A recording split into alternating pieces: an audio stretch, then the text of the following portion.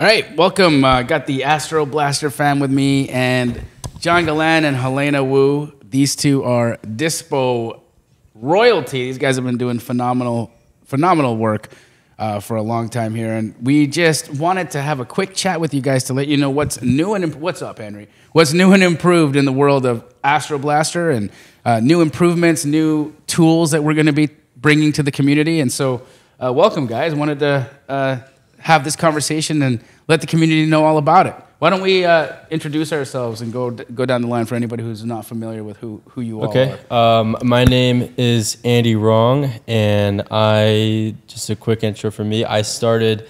Um, I actually found out Jamil through the Wholesale Genie, um, and it was about three three and a half years ago. Yep. And I saw you on YouTube, and I joined on. And the first couple months, I didn't have any success, and then I joined back and uh, closed my first deal, and then created a system out of that. Um, did pretty well for my wholesale company, and then now that system's in um, thousands of other wholesalers' hands, and they're making millions of dollars from it. So that's kind of my uh, my my story. Right Yeah, there. you're the uh, he's the actually the inventor of Astro Blaster. So that's the system he's talking about. It's the Astroblaster system. So good job, Andy. You did you did good. You did good, bro. Thank you, thank you, thank you.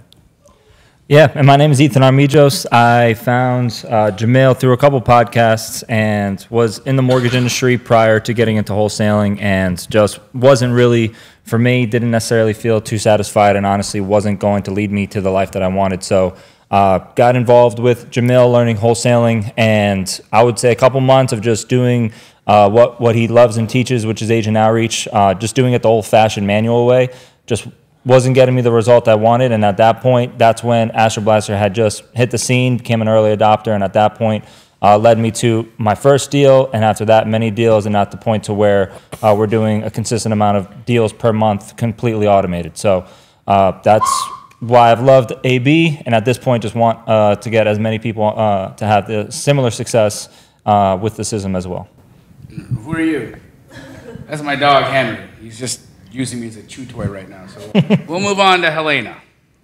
Hi everyone, my name is Helena Wu. I came from the Wall Street background, was working on Wall Street before in finance, and you know came across uh, the commercials from Jamil and got to learn more about his astro flipping program and started this wholesaling journey. It's been going well. I was able to quit my W two job and do this full time, and now I'm the co-founder of EzyRes, which is a wholesale operation uh, in Florida market. We're doing deals all over Florida with a vision of building it as a national franchise company.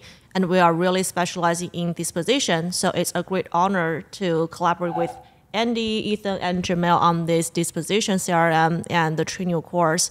And we love to help in any type of way we can.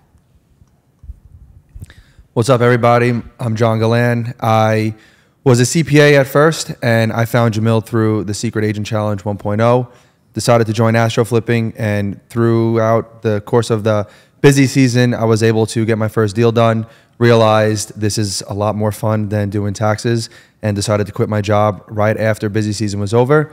I started uh, doing wholesaling by myself for a little bit. Then I partnered with uh, Helena, and we started to just sell multiple deals a month. And now we're currently doing anywhere between 10 to 18 deals a month in Florida alone. And we have the intention of building this to a national franchise with the help of our good friend Jamil, who's helping us along the way as well. And we're very happy to be able to share any of the knowledge we've gained from dispositioning deals uh, and leveraging the Astro Blaster community that Andy has built and Ethan has helped cultivate. So, yeah, very, very happy to be part of this. Let's start there because you know maybe uh, the audience isn't familiar with uh, the Astro Blaster system. Um, in a, in a brush, you know, broad strokes, what would you, how would you describe the Astro Blaster system? Um, we help wholesalers uh, automate their follow up with doing agent outreach um, via automations and using a little bit of magic from AI. Awesome. So, for those of you that are thinking or wondering, okay, so what does that mean? Well, in a wholesale transaction, there's two pieces, right? There's the lead, there's the deal, getting the deal under contract or the house under contract, and then there's the selling of that contract, right? That's the dispositions. So, Andy created an incredible system that allows you to automate your lead generation with a, with real estate agents so that you literally can have a W two job or in his case be in high school and have follow up conversations with real estate agents so that they'll send you off market opportunities which all of us are making you know all kinds of money doing right and so Andy built the lead gen system. Ethan is our ops manager at Astro Blaster, so he's a part of that organization. And we were thinking, how do we complete the equation? In any wholesale deal, there's an acquisition and a disposition process, but we really weren't doing anything in the AB community to help with dispo. And that's what brought Helena and John Galan into the mix. So obviously, I run a dispositions company at KeyGlee, but of course, um, y'all have heard enough from me, and um, I think it was really important to hear from people that are, you know, actively, you know, in the process of selling deals. Like right now, I'm not a dispo rep at KeyGlee anymore. I own the company. Um, you know, I'm the fun guy that walks around and waves at people these days, and you know, I'm not necessarily sitting there in the front line all the time. And so, uh, there's a lot of things that change, and I think that John and Helena, because they're sitting there on the front lines doing active deals in the disposition seat uh, had a lot of insights. Uh, you know, of course, many of the insights came from our coaching and things that we did, but they're taking the things that they've learned from me and the things that they've learned on their own and from other people and put that all together in a new dispositions um, training and CRM that is going to be a part of the Astro Blaster suite of uh, products. And so, can you guys talk a little bit about what that training is and, you know, what what you guys are bringing to the table for people to help them fill out this whole wholesale equation. Yeah, so uh, part of the training, we pretty much break down like the dispositions process. We talk about like what even is the dispositions process, what's some of the paperwork involved. we even talk about how to fill out some of that paperwork, how to work with other wholesalers, because if you're going to be a big dispositions company, you're not only going to be selling your direct deals, you're also going to be selling deals from other wholesalers. So we teach you some of the best practices with working with other wholesalers as well, as well as how to find buyers, how to talk and negotiate with buyers, how to manage the buyers in your CRM, like if they give you a buy box, how to pretty much strategically keep track of that buy box. So if somebody says, "Hey, I don't like 1950s or older," you don't send them a 1940 house in an area that they don't like. So it's a little bit of that and some how to scale the disposition side because whenever you're building something, you need to have an intention of what's the end goal for it. Otherwise, you're building it blindly. So we kind of help you with trying to start thinking about that now and what you're going to have to think about that we didn't think about when we started scaling our company, um, like as of the documentation process and training process and all that stuff. Would you say that one of the promises that people can gain from the processes that you're teaching in that training is how to find uh, uh, more of like a plethora of buyers who might be able to pay more for specific deals or um, have more buyers so that you have more options so that you can get more for your deals? Yeah, so in the course for the um, tutorial, we, ta- we, talked about how to find different kinds of buyer um, in different strategies, either it's Airbnb or pad split. So no matter what kind of the deal you have, you'll have a unicorn buyer for that particular kind of deal. And also because of their unique strategy, they're more likely to pay more for the property compared to your standard fix and flipper. And also we mentioned about how to run numbers, uh, like the offer price and your assignment fee to push the price to the maximum level to make sure you know you are not underselling your properties. And also some tactics in terms of uh, instilling the urgency, the FOMO into buyers, uh, and how to negotiate and all that. Uh, I love that, right? Uniquely packaging your deals for a specific strategy. That's an incredible process. And I mean, right now, a pad split buyer, and, and we're seeing this at KeyGlee, uh, you know, all in, in so many different ways. Houses that wouldn't work for a fix and flip because they're too tight, they will work for a pad split buyer for the income strategy, right? And so, for instance, there was a deal that I bought I did a full case study on. I overpaid for this house, uh, knowingly overpaid for the house, but I wanted to see if I could overpay, if I could, if I could still make money on a house overpaying for it and using the pad split model, then I knew that I'd be able to wholesale more deals because of this exit strategy, and it worked. I was able to overpay for the house. I still was able to renovate it in the same cost that it would have cost us to fix and flip it, but in my refi, I was able to refinance all of my down payment money plus an additional 20 grand on top of my down payment money. And I'm cash flowing $2,400 a month right now using pad split. So I got a free house essentially um, with $100,000 in equity, $20,000 in my pocket, all of my cash back, and $2,400 a month in income. Now, when you are pitching to a pad split buyer or to somebody, that to me is like a no brainer, right? You even talk to somebody who's got private money about that kind of deal, and it's a no brainer. So, understanding how to pitch these specific deals is really important. Um, and either of you can take this this question. Have you seen more niche style buyers in the last year or so since interest rates have increased? Yeah, for sure. And I think, you know, split is definitely a hot one because it's different from traditional long-term rental. The cash flow is a lot better because you are essentially running it out by room, but it's also a lot safer and less volatile compared to Airbnb and other midterm rental and stuff. So yeah, more people are becoming more creative um, to use different strategy. Um, or some like you know having addition, building ADU and all that. Just you really like being creative to try to make the numbers work.